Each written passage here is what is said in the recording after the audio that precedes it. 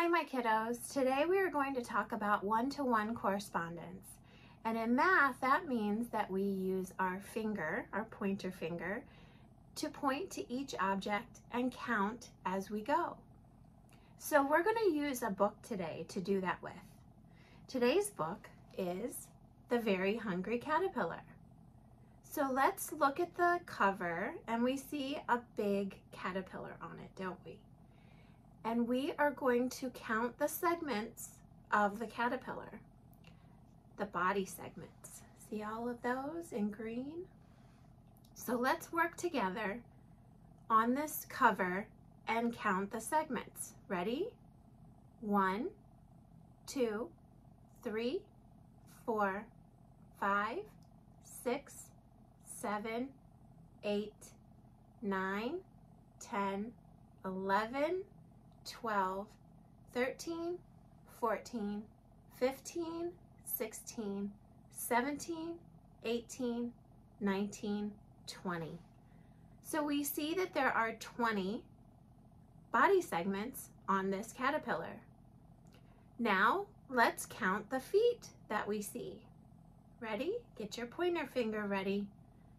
One, two, three, four, five, six. We see six feet on this caterpillar. Now this book is called The Very Hungry Caterpillar by Eric Carle. Eric Carle is a, an author and an illustrator. So that means that he not only wrote the words to this book, but he also created the pictures. So let's get into this book and see what else we can count with using our pointer finger.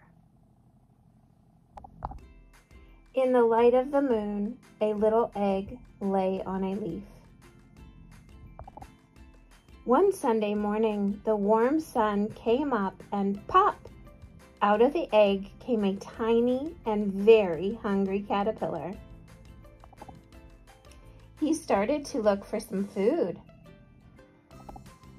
On Monday, he ate through one apple, but he was still hungry. On Tuesday, he ate through two pears, but he was still hungry. On Wednesday, he ate through three plums, but he was still hungry. On Thursday, he ate through four strawberries, but he was still hungry. On Friday, he ate through five oranges, but he was still hungry. On Saturday, he ate through one piece of chocolate cake, one ice cream cone, one pickle, one slice of Swiss cheese, one slice of salami, one lollipop, one piece of cherry pie, one sausage, one cupcake, and one slice of watermelon. That night, he had a stomach ache. Now let's count these with our finger. Ready? We'll start at the one piece of chocolate cake. One, two, three, four, five, six, seven, eight, nine, ten. He ate through 10 pieces of food that gave him a stomach ache. The next day was Sunday again.